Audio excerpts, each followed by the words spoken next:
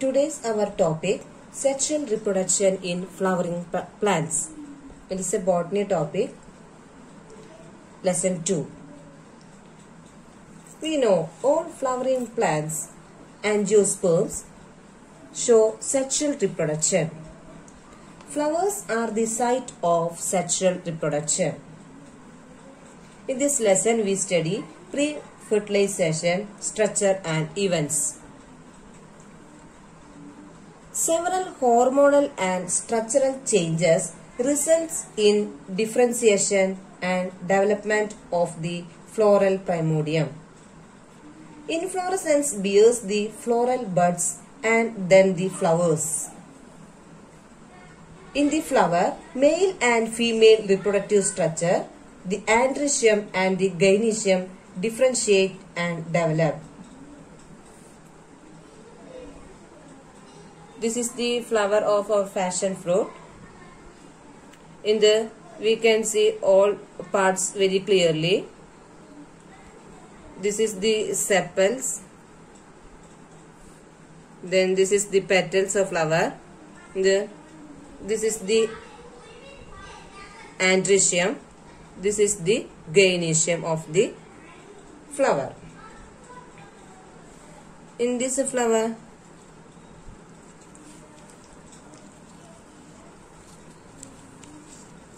this is the gynoecium of the flower.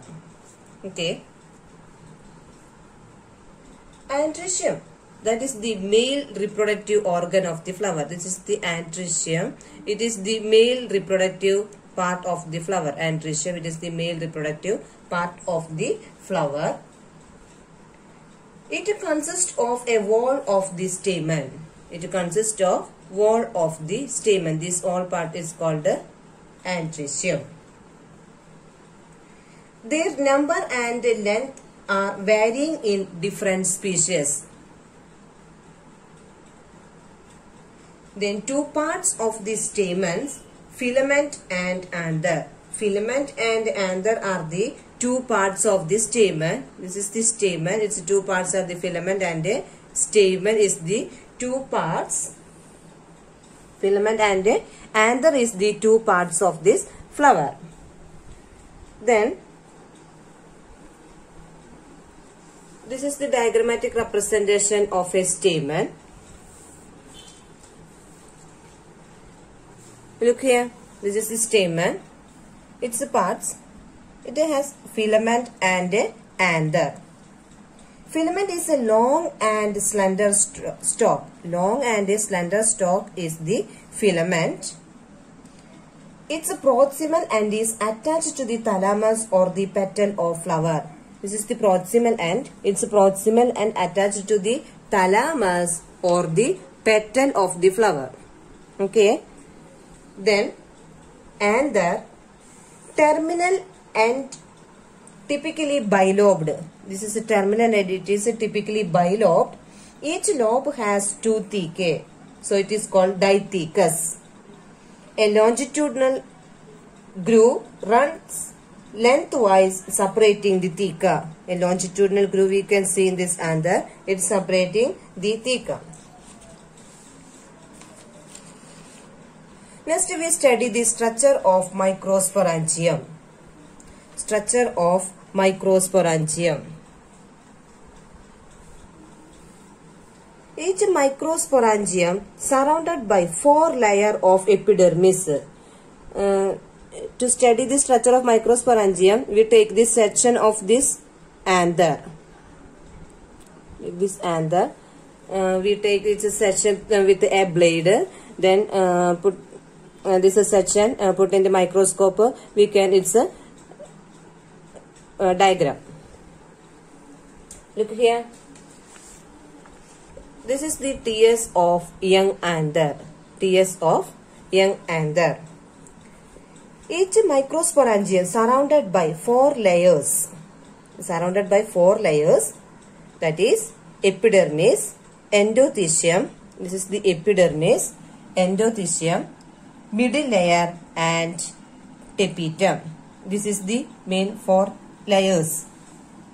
The outer three layers give protection and helps in dehiscence of the anther to release the pollen. First three layers are give uh, protection and help in dehiscence of anther to release the pollen. The innermost layer, the innermost layer is the tapetum which is multinucleated. This tapetum which is the multinucleated with dense cytoplasm. It nourishes the developing pollen grains. That is the function of tapetum. It nourishes the developing pollen grains. The center of each microsporangium contains homogeneous cells called sporogenous tissue. Okay, this is the enlarged view of one microsporangium. In the, we can see four layers, epidermis, endothecium, middle layer and a tapetum. This is the connective tissue. This is the microspore mother cells, sporogenous tissue. These are the main parts of anther. The process of formation of microspores from pollen mother cell through meiosis is microsporogenesis. Microsporogenesis, it is the process of formation of microspores from pollen mother cell through meiosis is called microsporogenesis. This is the pollen mother cells. It undergo meiotic division to form the tetrads of pollen. Then uh, it undergo differenti differentiation to form the pollen grains. Okay, this process is called microsporogenesis. Microsporogenesis is the process of formation of microspores from the pollen mother cells through meiosis is called microsporogenesis.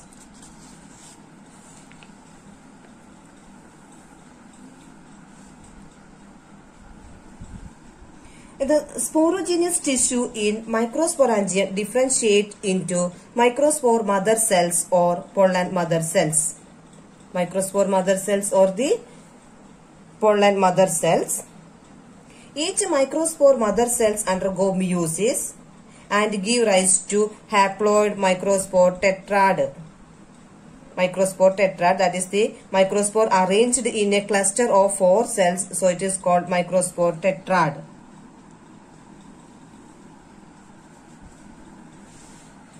Dehydration, microspore tetrad dissociates to form microspores. Each microspore developed into a pollen grain. Each microspore developed into a pollen grain. Each microsporangium contains thousands of pollen grains. They are released with the dehiscence of anthers. This is the pollen grain tetrad this shows the stages of microspore maturing into a pollen grain. This is an enlarged view of a pollen grain. Next we study the parts of a pollen grain. Pollen grain represents the male gametophyte.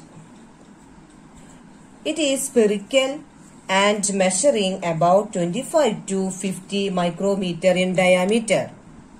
Spherical in shape it's very minute 25 to 50 micrometer in diameter.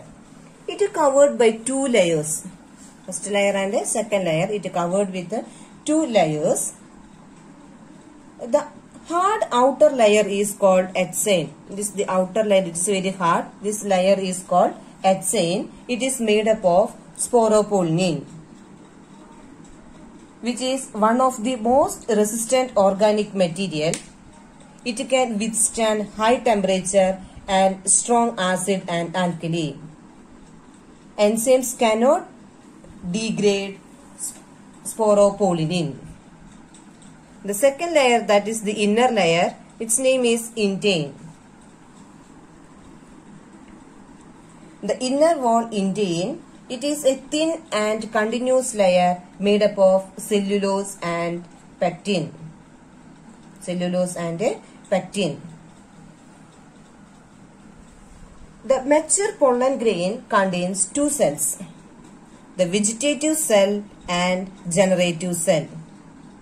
The mature pollen grain contains two cells, the vegetative cell and a generative cell. Vegetative cell is bigger abundant food reserve and large irregularly shaped nucleus. But generative cell, it is small and floats in the cytoplasm of the vegetative cell. Spindle shaped with dense cytoplasm and nucleus. Spindle shaped with dense cytoplasm and a nucleus. Okay, 60 percentage of angiosperms pollen grains are shed at this two-celled stage. In other, the generative cells divides mitotically to form two male gametes become pollen grain are shed at three cell stage. Then, what is the difference between pollen and pollen grains? Pollen grains are the male gametes or sperm cells of plant. It is typically a single cell. But pollen simply refers to the quantity of pollen grains. Okay? Pollen grains of some plants, example Parthenium or carrot, gra carrot grass. It's otherwise called Congress pacha.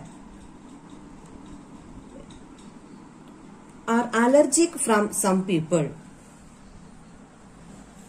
It leads to chronic respiratory disorders like asthma, bronchitis, etc. That type of allergy is called pollen allergy. Pollen grains of some plants causes some uh, chronic respiratory disorders in some uh, some people.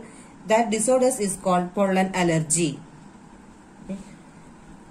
One example is the Parthenium. It's common known as a carrot grass or the Congress pacha.